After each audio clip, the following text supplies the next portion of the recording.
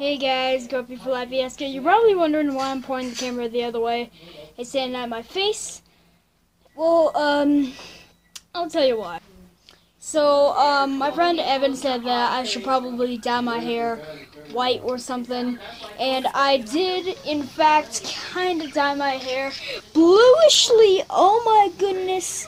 Bluish. You can kind of see the bluish. I mean, I sprayed it on, spray dye and um, it's awesomely blue.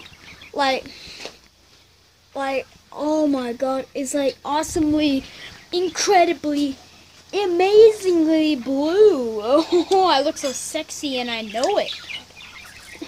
And, like, look at this, it's all blue. So, yeah, I did it blue. Um, I'm gonna have to wash it out sooner or later.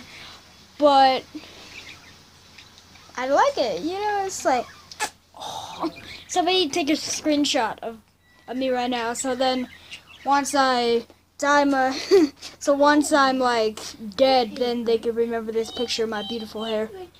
But you can actually see it. It's blue.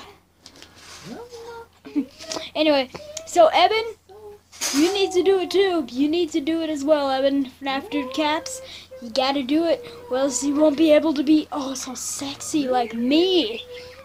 Mm. But first, let me take a selfie.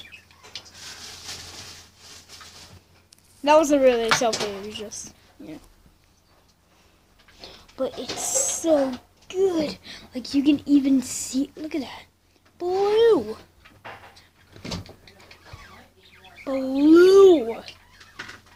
Like, I was gonna dye white, but, you know, white kind of, like, going to be an old grandpa.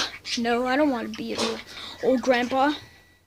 But I don't want you to be like me. Grandpa, get out of here. Get out.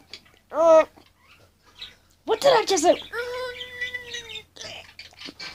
Well, that takes care of things. Anyway, my hair is astonishingly, incredibly, amazingly blue. Anyway, sorry. So thank you guys so much for watching this video. If you liked my hair and the video, please give it a thumbs up, share the video with your friends. It really helps out a lot. I'll see you guys in the next one. Peace.